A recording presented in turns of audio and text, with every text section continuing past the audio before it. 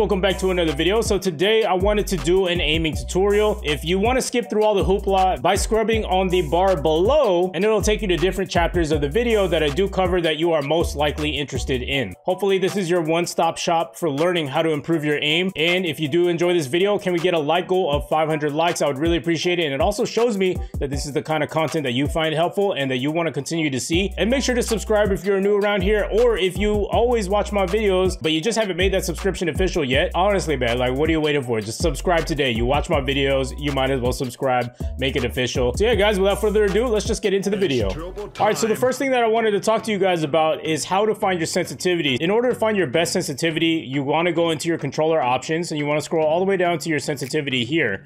So for my horizontal stick sensitivity, as well as the vertical stick sensitivity, I do recommend that you start off at a much higher sensitivity. Now, the reason why is because you're going to slowly work your way down after you get a feel for which best sensitivity is for you. So for example, we're starting off at a 13 here. ADS sensitivity multiplier is going to be a 1 here, as well as a 1 here as well. What you want to do now is you want to go into a private match and you do want to find a target. Now this map is very perfect because there's many targets on this map that you can actually practice on. So for me, for example, I'm on a 13 right now. I'm moving around. You know, this is you know, for me personally, it's a little too much, but here's a target anyway, just for an example. So I'm to try to snap onto my target as much as I possibly can. All right, and, and of course, for me, being a much more experienced Call of Duty player, I'm able to snap on my target, and it's a lot easier for me. But however, it's, it's a little all over the place for my liking. So I'm definitely to bump that down just a little bit. So this is basically what you want to do. You want to keep bumping it down maybe by one or two. And you also want to play around with the sensitivity multiplier settings. So the low zoom is mostly important for most situations, but the high zoom is mostly for people who enjoy using snipers. So for me, I'm not to touch that. Not really a sniper guy. The sensitivity that I found that works best for me is a 0.80 and we're just gonna keep bumping down the sensitivity till I feel completely confident in controlling that aim. So also you can also try strafing left and right, seeing if you can stay on target.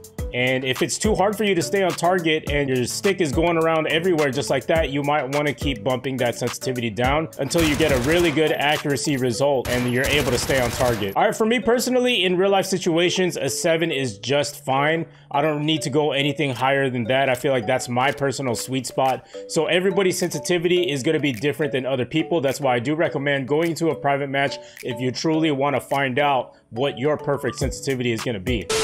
Next, we want to talk about centering. So centering is very important. And you may be asking yourself sometimes when you watch your favorite YouTubers videos like, yo, how the hell did he know that there was going to be an enemy like right there? Centering is very important. You want to keep your crosshairs at the center of your screen as much as you possibly can.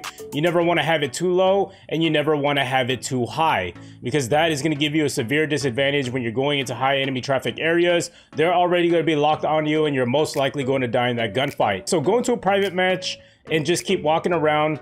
Uh, make sure you also want to point it in doorways, points of entry, and places where enemies are most likely going to be. That's how they give off the illusion that they knew exactly where they were coming from. But no, it's just the basic fundamentals of just being one step ahead of the enemy by pointing your crosshairs in the right directions. So I'm going to come around here on this side and I'm going to pre-aim right here. So I, you know, I didn't even really do much right there. I had my crosshairs directly in the middle of my screen. So by the time that I turned that corner, I was already aimed in on my target. I'm not walking through this area with my crosshairs pointed here because what's going to happen is if there's an enemy like right there, he's going to go ahead and shoot me. So that's why when you're coming around this corner, you already want to be rotated right here. So as you can see, that does give me the clear advantage. If an enemy happens to pop up there, then that's when the viewer might be questioning, how did he know he was going to be there? It's not that he knew he was going to be there. It's just that he's applying those basic fundamentals of centering your crosshairs.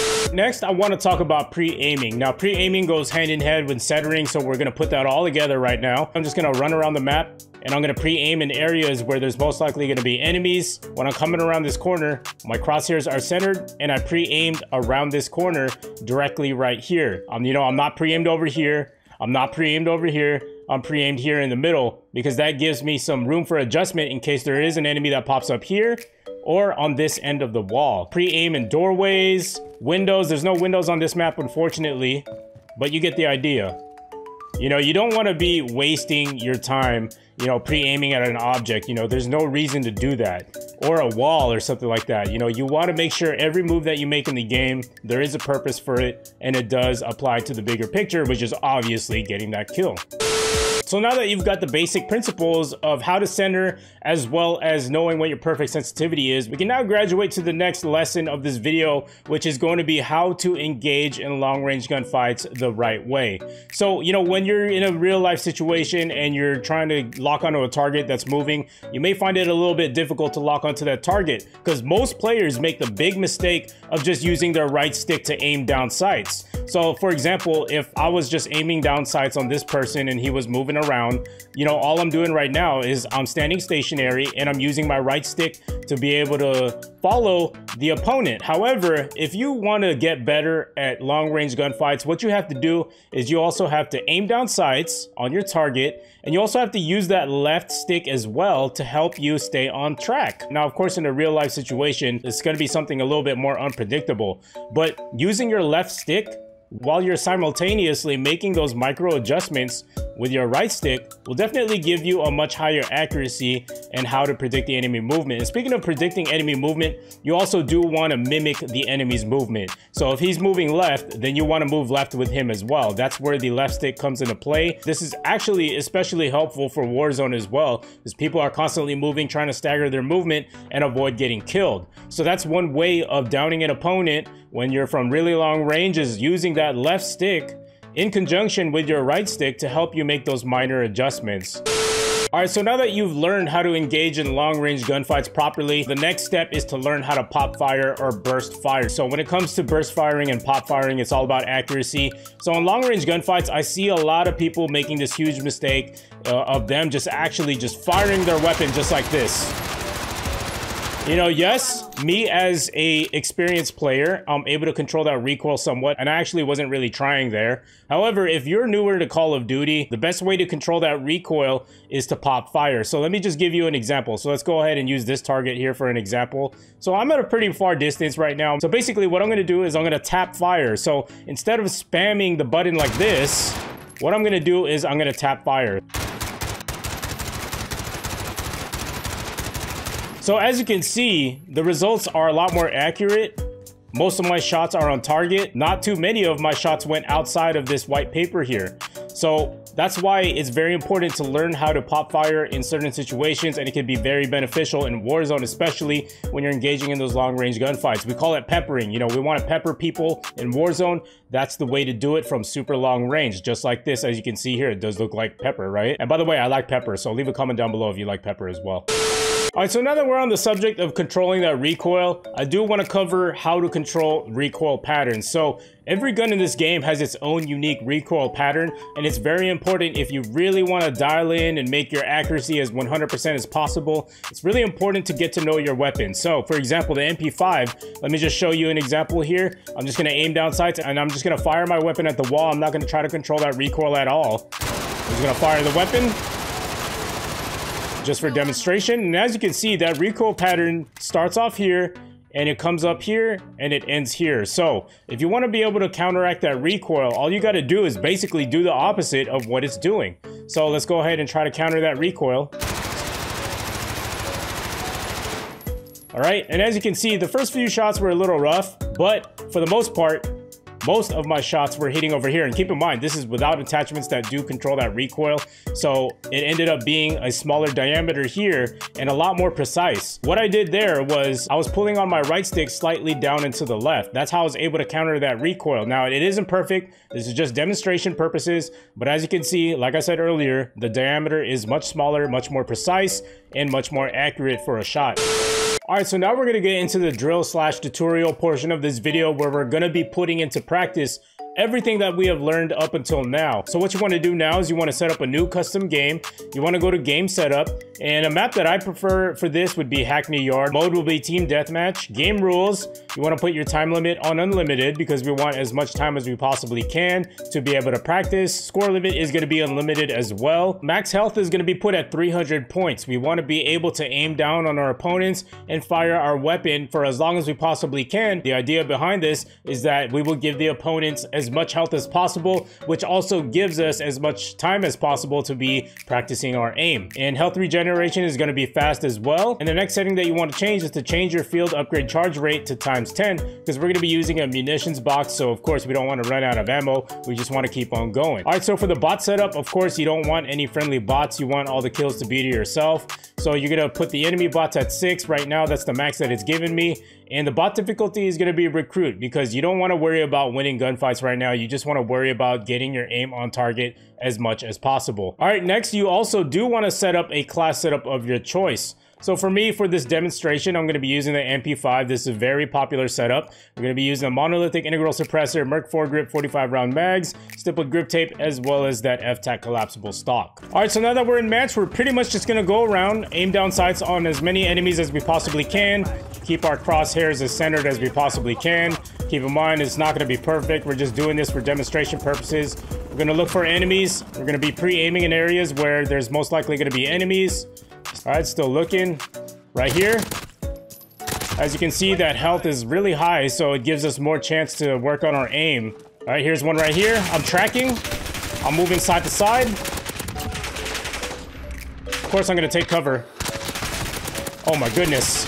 But as you can see, we have many opportunities to work on our aim. Oh my goodness, we just got overpowered right there by way too many enemies at a time. So you may actually want to turn the health down to make it normal so that you can still run around the map all right, I'm tracking and work on your aim instead of worrying about trying to stay alive in that gunfight. So again, I'm keeping my crosshair centered. I'm pre-aiming around those corners where where enemies might be. There's one behind me right here, one really far away. It's actually burst fire a little bit. There you go. You can't really tell about the burst fire because I was doing it so fast. But this is burst firing right there as well. I'm actually gonna burst fire right now so you guys get get an idea how accurate it actually is.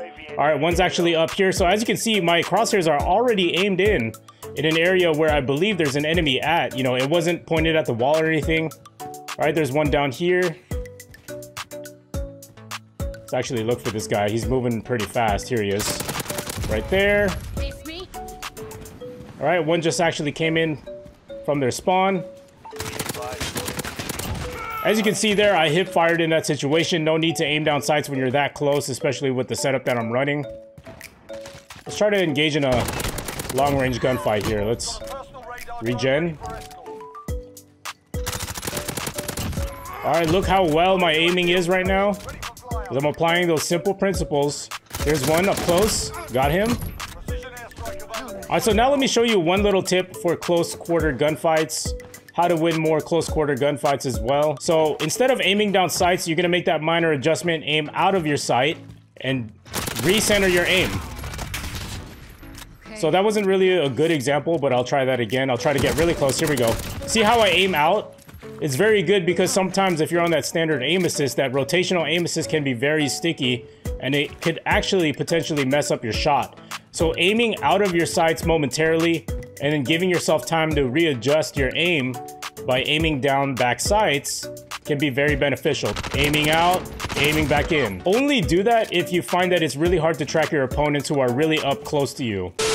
All right, so one of the tip that I do want to go over is the importance of centering your thumb on your right stick.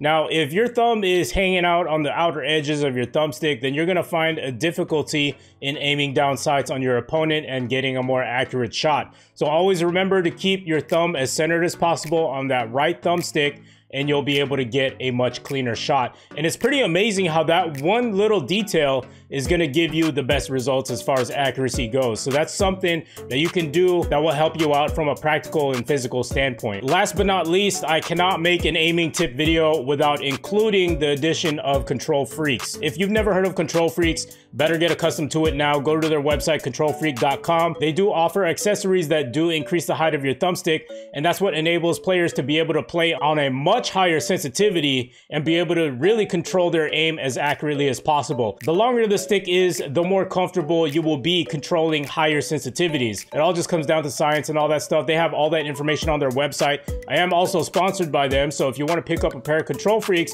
make sure to use code TURBO on your way out to save some money, and it also does support me. So yeah, guys, that's the end of the video. I hope you guys did learn something from it. Hopefully that this is the only aiming tip video that you will need in Modern Warfare to be able to improve your accuracy. So if you did find this video helpful, make sure to drop a like on it. It'll show me that this is the kind of content that actually helps you and that you want to continue to see.